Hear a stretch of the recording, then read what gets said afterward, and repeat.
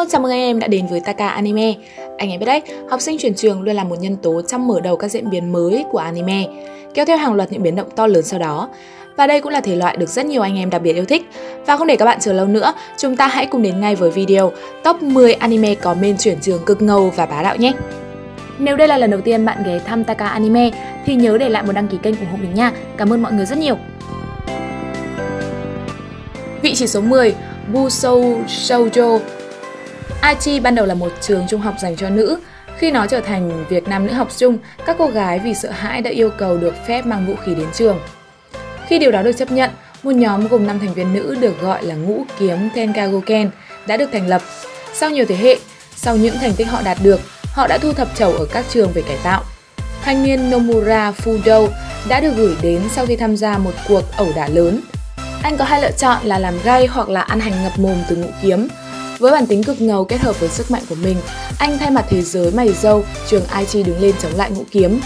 Cùng theo dõi và đón xem hành trình chinh phục, à, chống lại ngũ kiếm của anh chàng mê nhà ta nhé!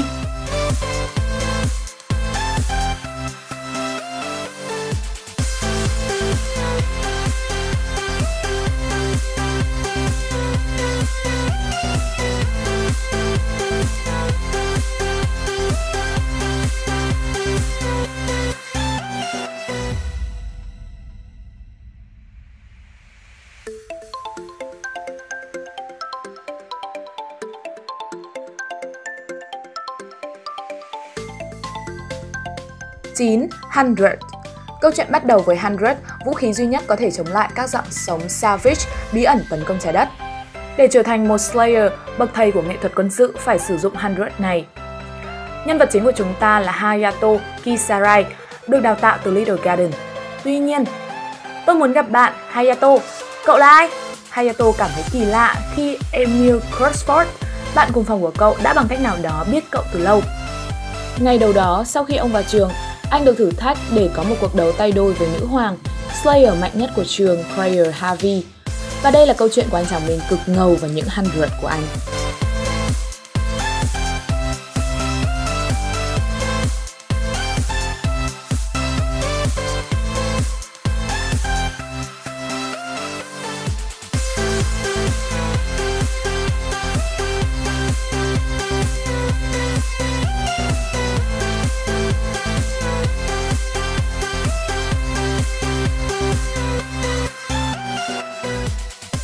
8.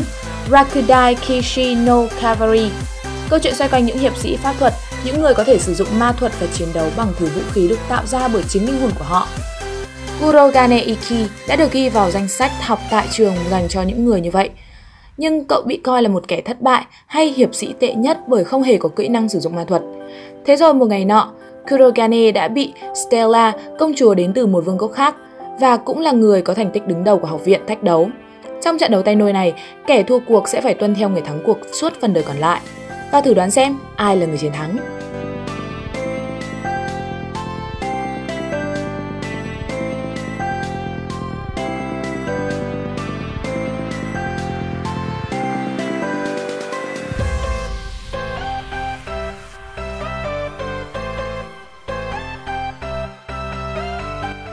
Vị trí số 7, Gakusen Toshi được truyền thể từ một bộ tiểu thuyết cùng tên với thể loại hành động khoa học viễn tưởng do Miyazaki Yu sáng tác và Okiura vẽ minh họa.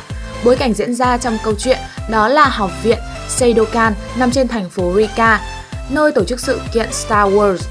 Đó là một sự kiện trọng đại của thế giới tập trung những chiến binh trẻ tuổi tài giỏi đến từ 6 ngôi trường khác nhau nhằm tìm ra người đứng đầu. Nhân vật chính của chúng ta là Ayato Amagiri, đã chuyển đến Rika sau khi được nhận lời mời của chủ tịch hội học sinh trường Seidokan.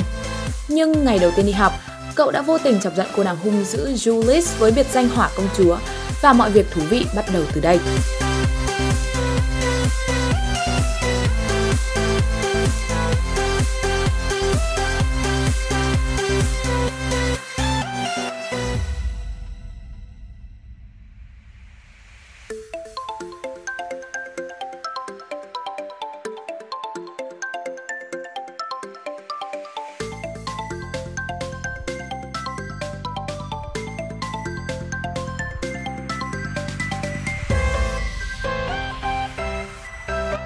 Vị trí số 6, Seirei Sukaino Blade Dance Câu chuyện diễn ra ở một thế giới nơi mà các tinh linh tồn tại và chỉ những trinh nữ mới có quyền giao ước với chúng.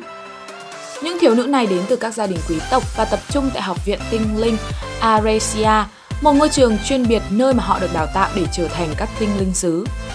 Tuy nhiên, một thiếu niên nam mang tên Kamito Kazehaya đã thay đổi mọi thứ.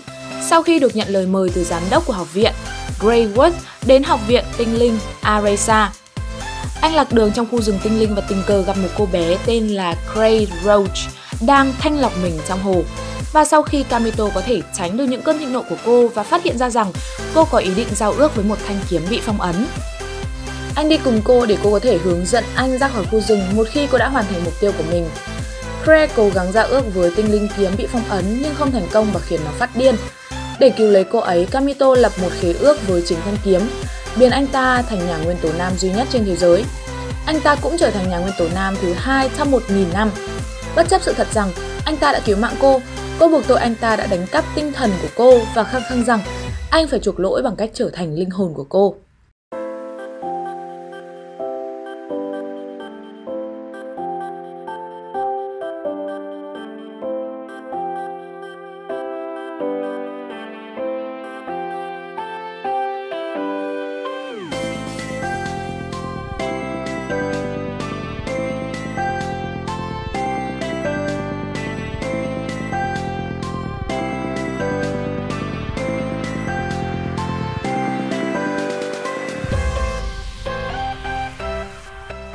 Vị trí số 5, Trinity Seven. Một thanh niên bình thường có sở thích trêu gái đang sống cùng của em họ. Một ngày đẹp trời, có một cô gái ngực bự đến mà nói với anh rằng khu vực của anh đang sống đã bị phá hủy và mọi thứ kể cả đứa em gái kia chỉ là ảo ảnh. Cô ta bắt thanh niên chọn một là dao Grimoire hai là chết.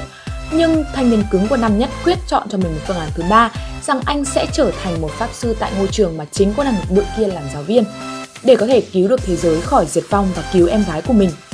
Rồi lại một ngày đẹp trời khác, anh ta phát hiện ra rằng mình là bố đời và có thể cho mình một dàn harem 7 người bao gồm cả cô giáo viên kia. Thanh niên thích trêu gái sẽ làm gì đây khi xung quanh là 7 cô gái xinh đẹp? Chôn họ đến tức chết sao? Hãy cùng mình đón xem Trinity 7 để biết thêm chi tiết nhé!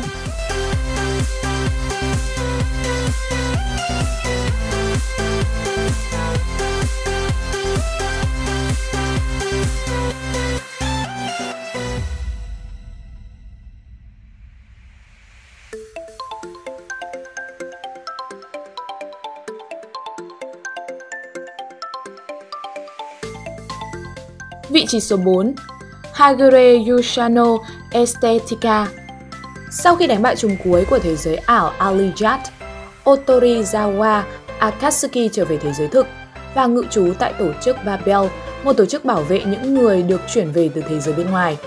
Akatsuki khi trở về còn đem theo con gái của trùng cuối Satan là Mil. Tại Babel, cậu chạm trán với những người chơi khác có sức mạnh siêu nhiên.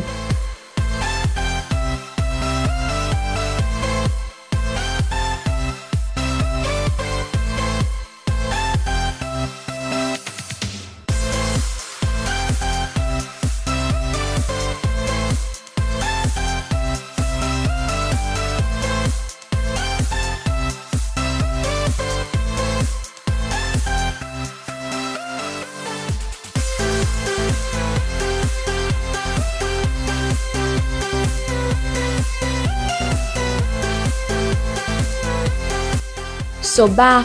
Grisaya no Kazusu Grisaya no Kazusu chuyển thể từ một game nhập vai cùng tên. Bối cảnh tại học viện Mihama, nơi được thành lập để nuôi dưỡng những học sinh có mâu thuẫn về thế giới xung quanh, không thể hòa mình vào xã hội. Và đây là mái nhà của năm nữ sinh với những lý do hết sức đặc biệt của họ. Dù tốt hay xấu, mỗi người đều có một lối sống khác biệt nhau xung quanh bức tường của trường Mihama. Nhưng với việc một học sinh nam đầu tiên được chuyển đến, Kazami Yuji, những cô gái dần dần mất đi nhịp sống bình thường của họ. Liệu Yuji sẽ làm gì để những cô gái có thể tiếp tục với cuộc sống hiện tại hay làm họ nhớ tới quá khứ, lý do đã làm họ phải sinh sống dưới những bức tường này? Kazami Yuji thực sự là ai? Công việc bí ẩn của cậu ta là gì? Và việc cậu ta xâm nhập vào ngôi trường Mihama là một phần quan trọng của cái công việc bí ẩn kia. Và trên hết, có khả năng chính bản thân của Yuji có liên quan đến quá khứ của các nữ sinh kia.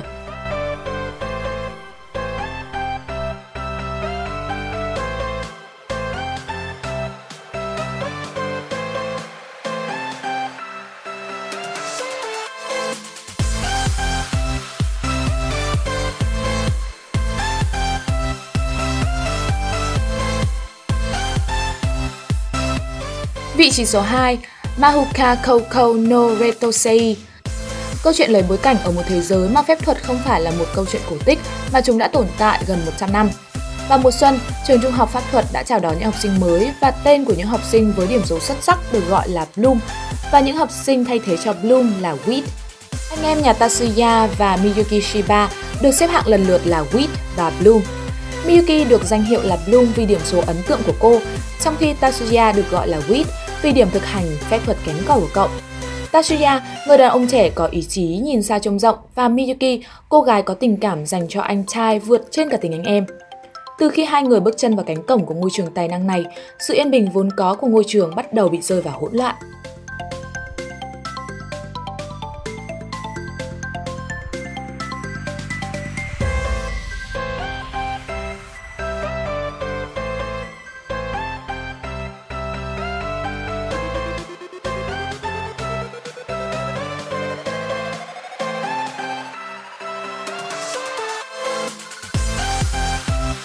Vị trí số 1, Học viện Biết Tuốt Trường trung học Koudo Ikusei, một trong những trường học danh giá với tỷ lệ học sinh sau khi tốt nghiệp sẽ vào đại học hoặc có việc làm là gần như 100%. Ở đây học sinh có thể tự do để các kiểu tóc nào mà mình muốn, mang bất cứ dụng cụ cá nhân nào vào trường. Koudo Ikusei không khác gì một thiên đường đối với học sinh, nhưng sự thật chỉ có những học sinh ưu tú mới có thể có quyền lợi đó. Ayano Koji Kiyotaka vì bất cẩn nên đã thi hỏng trong kỳ thi tuyển sinh, thế nên cậu bị xếp vào lớp D, lớp dành cho thành phần kém cỏi.